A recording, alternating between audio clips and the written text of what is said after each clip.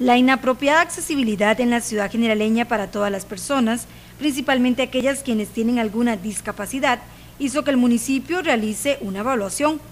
Ahora pretende llevar a cabo un proyecto para mejorar las aceras y que se adapten a la ley 7600. El proyecto se pretende llevar en etapas. Precisamente, la primera se realizará sobre aproximadamente 655 metros de longitud entre la municipalidad y el Hospital Escalante Pradilla, conectando dos puntos estratégicos de la ciudad.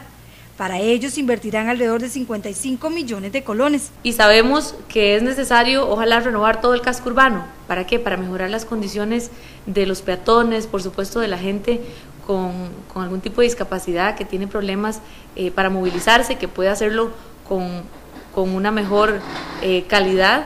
Pero bueno, este proyecto es bastante grande y hemos querido iniciar por etapas y es por eso que la primera etapa constituye la, accesibilidad o una acera que cumpla con todo lo requerido por la ley 7600 de la municipalidad al hospital como una prioridad. Eh, se escoge este primer tramo de la municipalidad al hospital Escalante Pradilla porque es una de las principales rutas de acceso hacia el, hacia el hospital y además en esta ruta eh, también comunica a diferentes instituciones que tienen que ver con la parte de servicios y salud, como son el Ministerio de Salud, eh, la municipalidad también, está el INS y hay algunas otras también eh, consultorios y clínicas privadas en donde sus usuarios requieren de esta accesibilidad pues con un poquito más de inmediatez. Los trabajos comenzarían la próxima semana y tardarán mes y medio aproximadamente, por lo que le piden a la población paciencia. Llamado al, al comercio, especialmente los que se van a ver directamente afectados por el proyecto,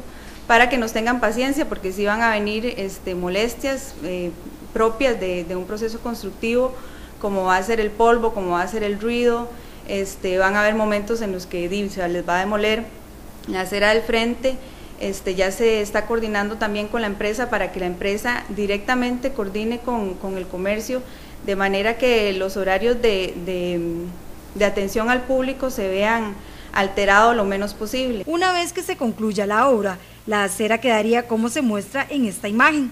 Posteriormente en el municipio continuarán con otras aceras. Siguientes etapas eh, se va a valorar la siguiente que sea otro edificio público, o sea, en este caso el hospital por eh, la prioridad que tiene para eh, las, personas, ¿verdad? Para todos y sobre, todo para la gente con algún tipo de discapacidad que pueda ah, garantizarse el acceso al hospital. Probablemente en el siguiente proyecto, vamos, en la siguiente etapa, vamos a estar también dándole accesibilidad de la municipalidad o del parque a otro edificio público eh, de igual importancia. Entonces, esa es la idea, empezar a priorizar de esa manera y tenemos la fe de que podamos con este proyecto hacer bastantes en el futuro. Con este proyecto se espera mejorar el acceso y a la vez embellecer la ciudad generaleña. Este proyecto se suma al ya inaugurado mejoramiento de la plazoleta del parque.